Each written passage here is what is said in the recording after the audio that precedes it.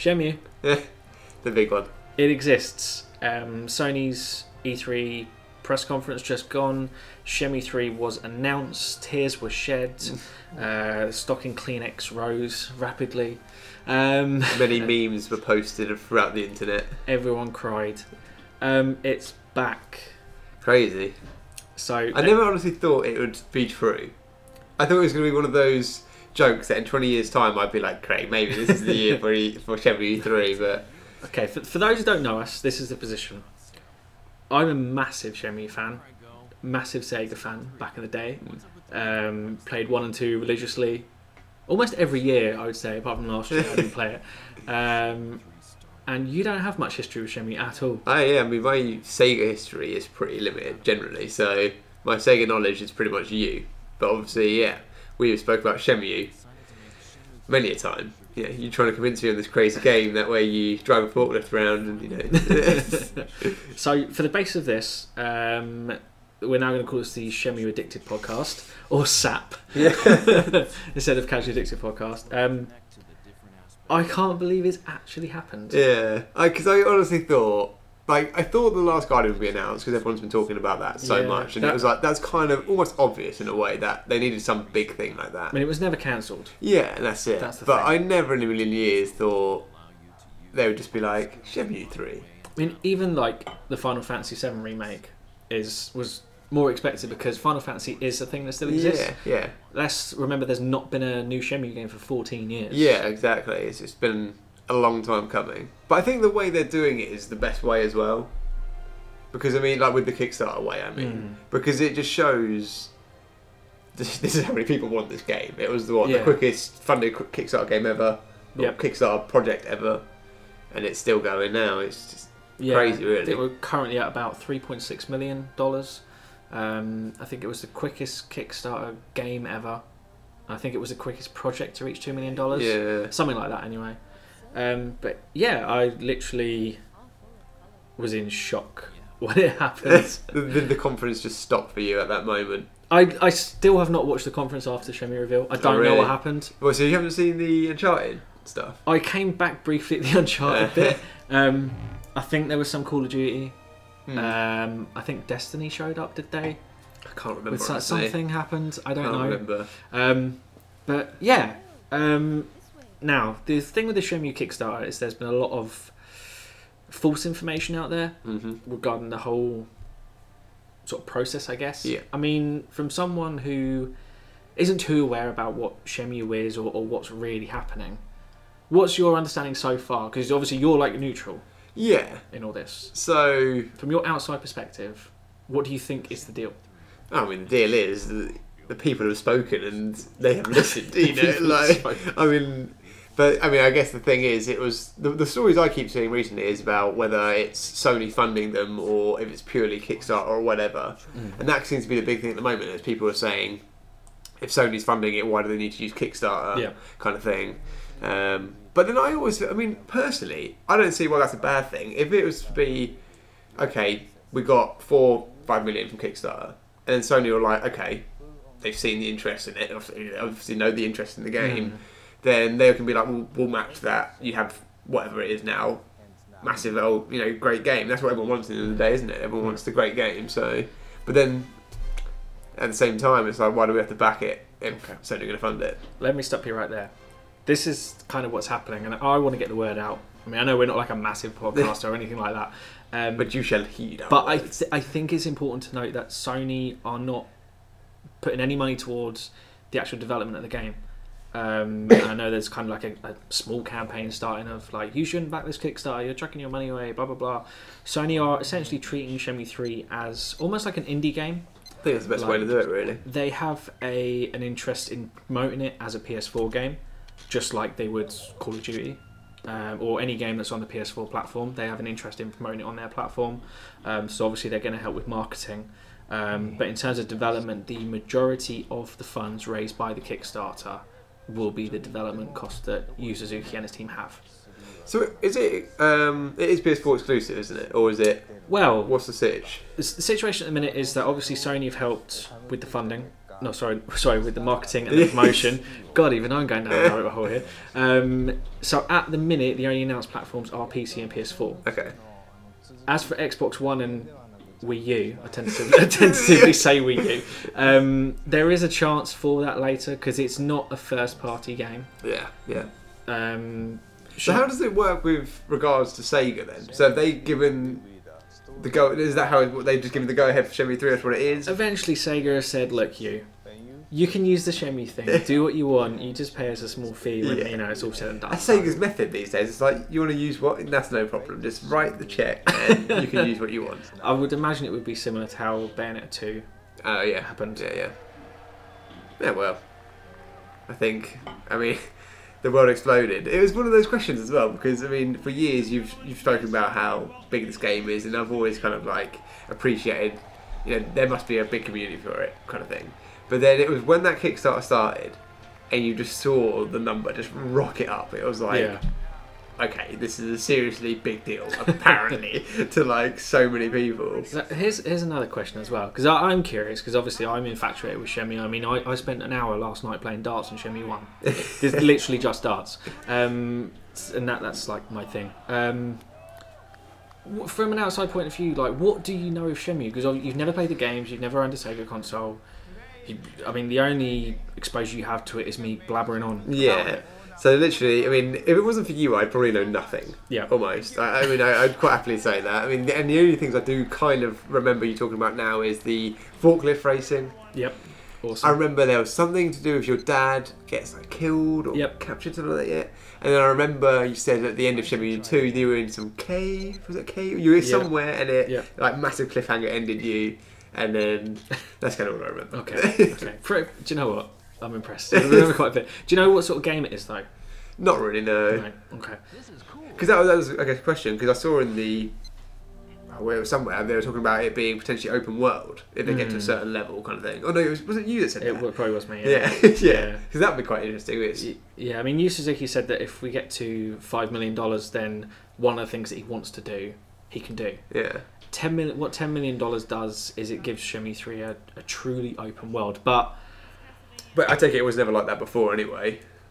well, it depends what you. I think he's got a different different definition to open world than what we have now. Yeah, I mean, it's not like going around Skyrim or The Witcher Three. No, or, or GTA. It's not like that. It's um, it's more having almost like a closed world, but being able to do everything. In GTA, you've got I don't know, let's say two thousand buildings.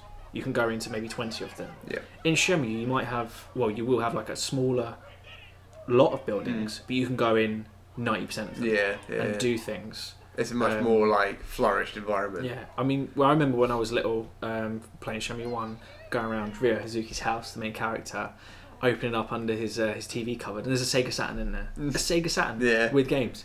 Um, that was a revelation to me when I was young. Um, so it's it's being able to almost have a second life, I guess. yeah. Like if you want to, You just kind of go about your business and you are this person kind of thing. you do what you want to do. Like if you want to go and you know chase the revenge story for your father and chase down Lan Di, you can. If you want to go to the arcade and play Outrun or the, the boxing machine, you Yeah. can do that. Go get a job, do your forklift driving or, or whatever, or run a gambling stall, or you know, kind of just just do whatever you want. But You really choose what you want to be. but it's not just that.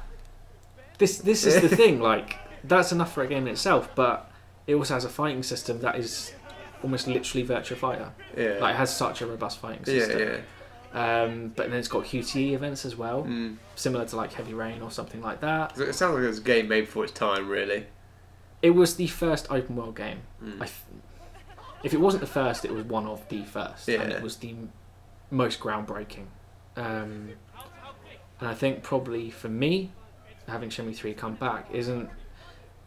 I'm not excited about the fact that it could be the same, but just what Yu Suzuki might come up with next. Yeah, so I guess that's the big question as well. Is like, okay, this game was made 14 years ago, and obviously you still love it now. Hmm. But it's like, what's it going to be like?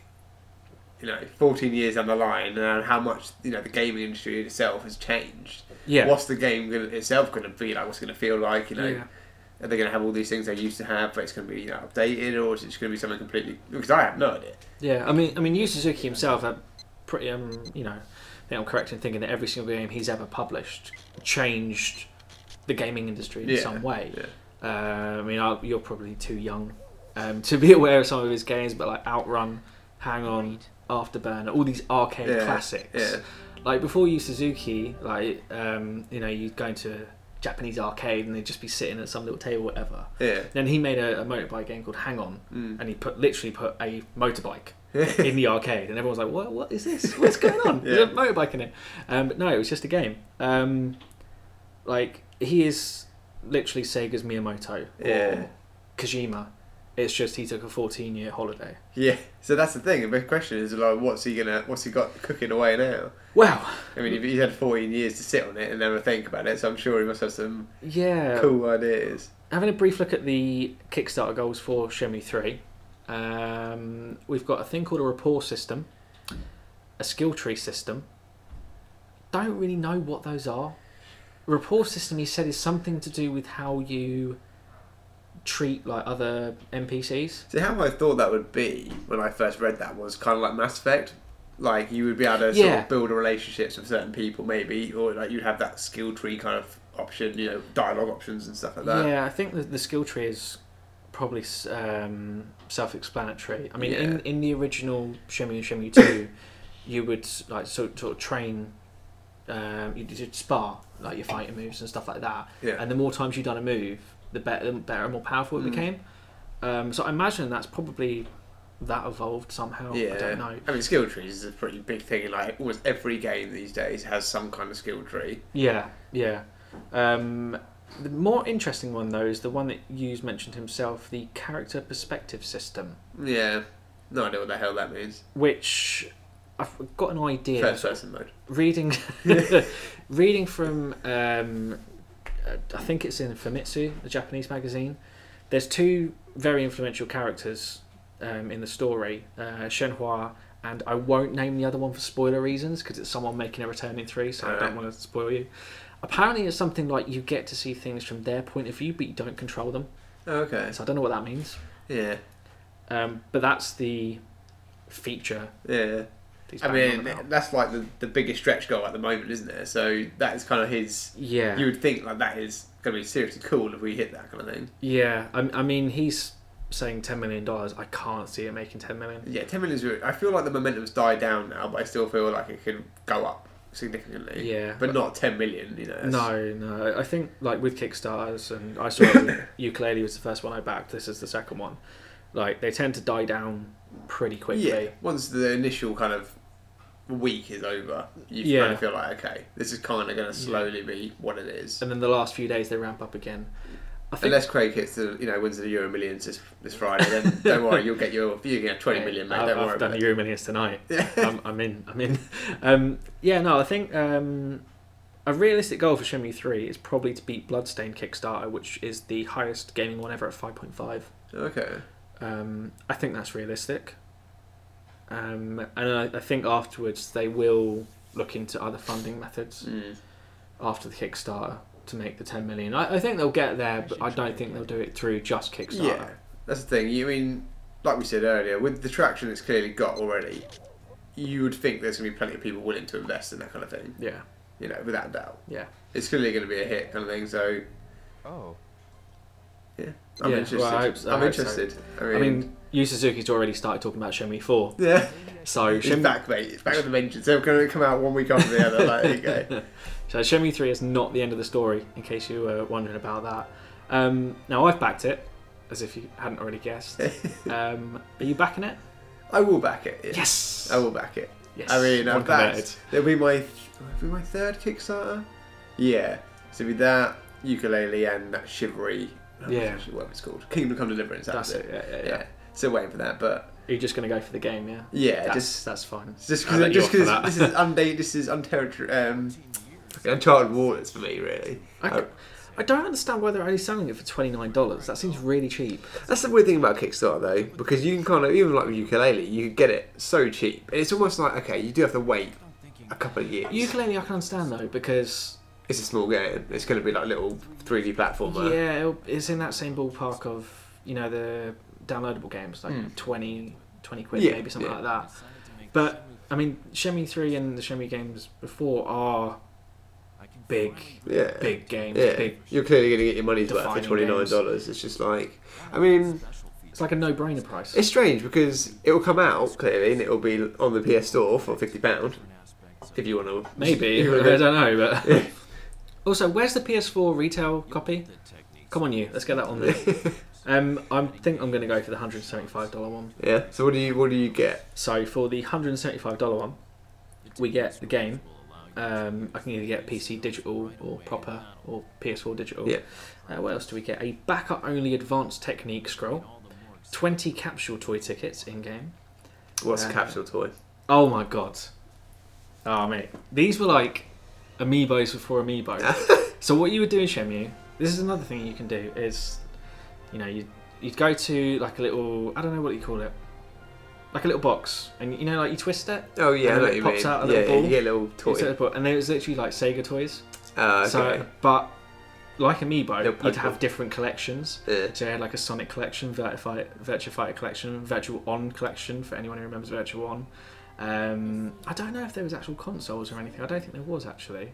That would have been cool, console toys. Yeah. Anyway, um, yeah, and you would, I would waste all my Shenmue money on it, like literally trying to collect them all. So you're basically getting a nice little Kickstarter. You know, getting some toys under under your belt straight away. Yeah, so you get uh, 20 for that. Uh, what else do you get? Let's have a look. Um, uh, MP3 download of the original soundtrack, uh, a digital art book filled with unreleased illustrations, um, Shenmue 3 t shirt, Nice. and what else? Oh no, there's more stuff.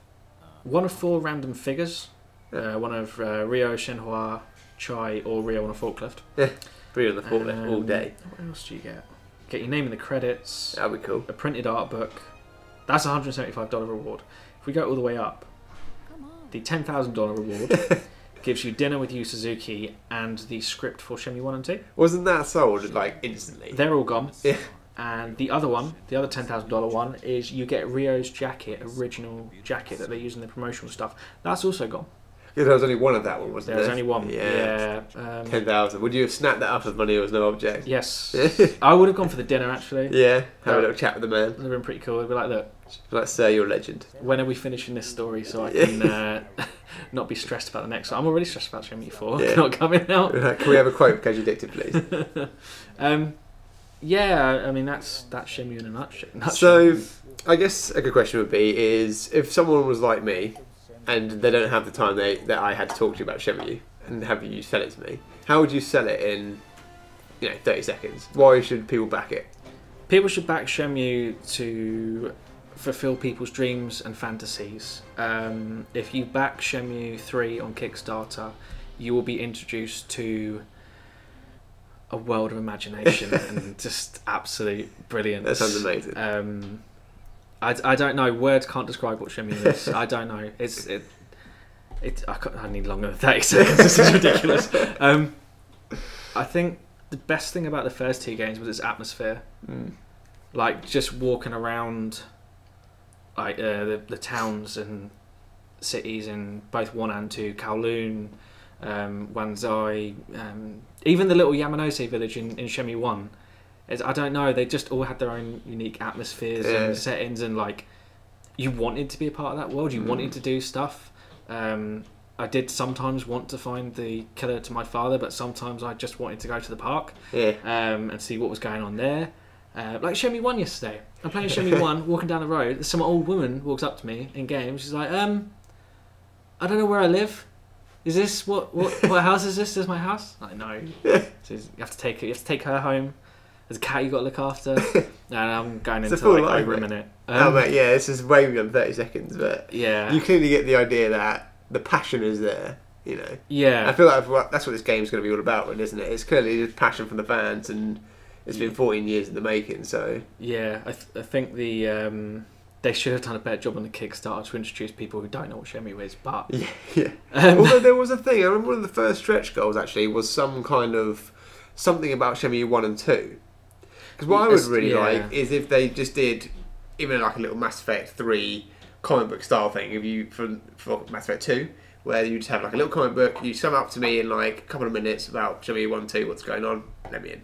I think that's what that is. Yeah, that'd be quite that'd be quite cool. I think that'd be a good way of just getting people into it without being bogged down by what what it is. Sega.